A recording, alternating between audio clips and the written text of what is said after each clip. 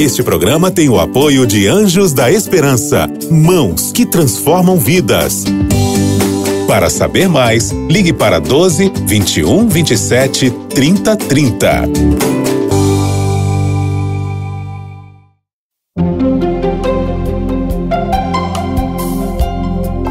Lições da Bíblia.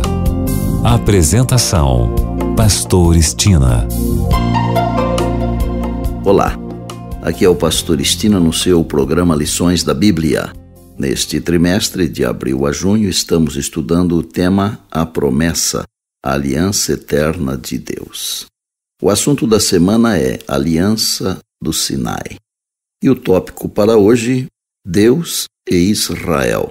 Vou iniciar o tópico de hoje com uma afirmação bíblica que está em Mateus 22, 14 e diz: Muitos são chamados, mas poucos escolhidos.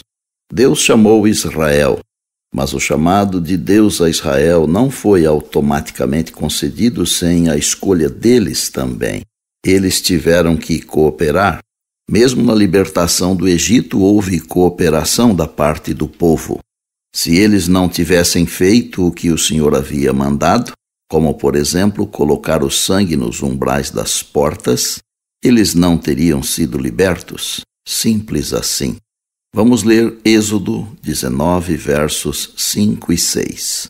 Agora, pois, se diligentemente ouvirdes a minha voz e guardardes a minha aliança, então sereis a minha propriedade peculiar dentre todos os povos porque toda a terra é minha.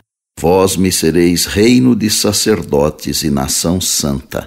São estas as palavras que falarás aos filhos de Israel. Perceba que o verso não dá a entender que Deus tenha dito: quer vocês gostem ou não, serão um tesouro peculiar para mim e uma nação de sacerdotes. Não é assim que funciona. E também não é isso que o texto diz. O texto deixa muito claro: se diligentemente ouvirdes a minha voz e guardardes a minha aliança. Precisamos tomar muito cuidado para não navegarmos nos extremos. Esse texto não anula o conceito de salvação pela graça, uma vez que não alcançamos a salvação pela nossa obediência, pois a salvação é um dom gratuito de Deus que recebemos pela fé. Todavia, a obediência é o fruto da fé. Também não podemos cair no extremo do perfeccionismo. Paulo diz com clareza que nenhuma carne será justificada diante de Deus por obras da lei. Está em Romanos 3, 20. Devemos entender que a obra de obter ou ganhar a salvação é de cooperação e coparticipação.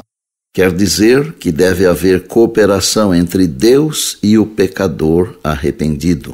Claro que devemos fazer esforços para vencer o que nos impede de alcançar a perfeição. Mas para alcançar êxito dependemos inteiramente de Deus. Por si mesmo, o esforço humano não é suficiente. Sem a ajuda do poder divino, o esforço humano de nada vale. Deus quer que governemos nosso ser, mas não nos pode ajudar sem nosso consentimento e cooperação.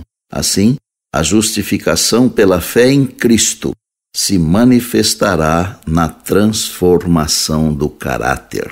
Bem, amanhã tem mais, se Deus assim nos permitir. E disse Jesus: Examinais as Escrituras, porque julgais ter nelas a vida eterna, e são elas mesmas que testificam de mim. João 5,39. Eu sou o Pastor Estina e este é o seu programa Lições da Bíblia. Diariamente com você, pela graça e misericórdia de Deus. Agora você pode escutar lições da Bíblia no Spotify e também no Deezer. Digite o nome do programa na caixa de pesquisa e tenha acesso a todo o nosso conteúdo. Nos encontramos lá. Você ouviu Lições da Bíblia. Este programa é um oferecimento da revista Princípios. Entre no nosso site novotempo.com/barra e peça sua revista totalmente grátis.